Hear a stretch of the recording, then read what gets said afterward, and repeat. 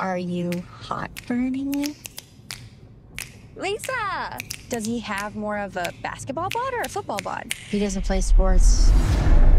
I tend to his grave. I talk to him. I wish I was with you. That's really weird, Lisa.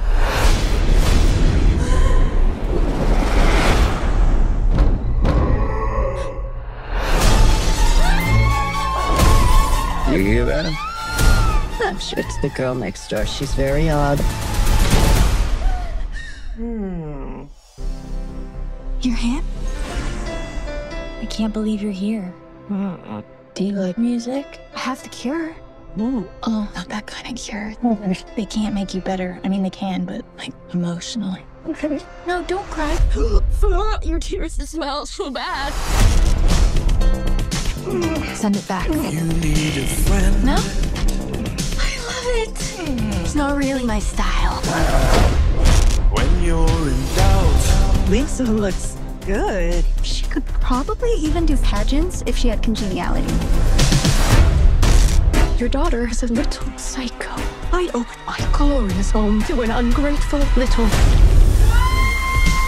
Leads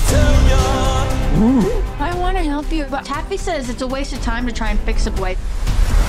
It's better just accept a guy's flaws. Oh, that's so cute. Gotta tell ya. I have an idea. There are bad people out there. Come on, Lisa. It'll feel good.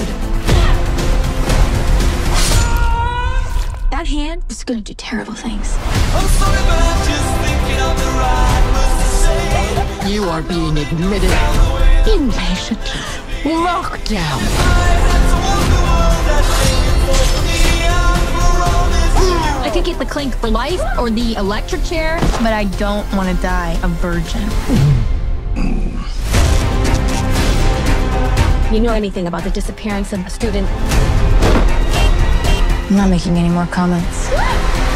You can talk to my lawyer. Really hope this goth phase ends soon.